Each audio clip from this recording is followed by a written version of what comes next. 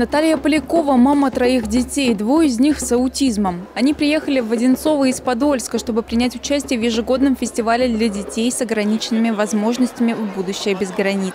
Очень понравилось э, вообще представление, детский ну, театр кукольный, очень понравились. Он даже сделал бабочку малыш. Эти тоже сделали вот разные поделки, вот брошки.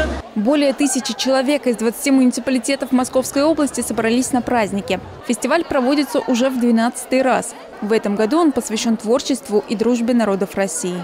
Каждая организация брала какую-то одну народность, изучали досконально, шили костюмы, делали блюда по национальным рецептам, изучали культуру.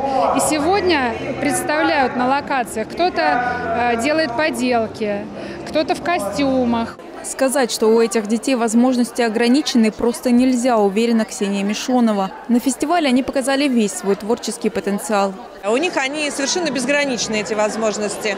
И они делают то, что, в принципе, даже трудно сделать обычному взрослому человеку. И они видят мир по-своему, они нам показывают его. И те краски, которые дети выбирают а, в своих рисунках а, и в своих аппликациях а, говорит нам только о том, что их мир намного ярче, чем нам кажется. Народы Киргизии, Чукотской республики, Дагестана и многие другие были представлены на фестивале.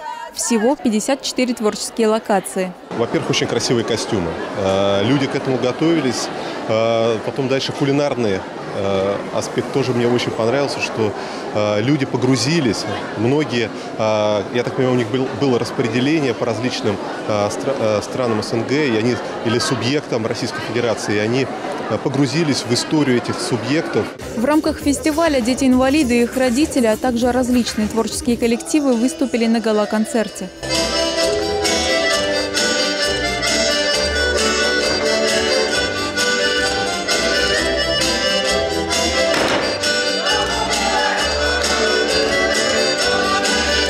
Тысячи горящих глаз людей с особенными потребностями смотрели на таких же ровесников на сцене, которые доказали, что возможности есть у всех. Получился не только веселый праздник, но и настоящая мотивация. Эмилия Аркелян, Артем Ломоносов, телекомпания «Одинцова».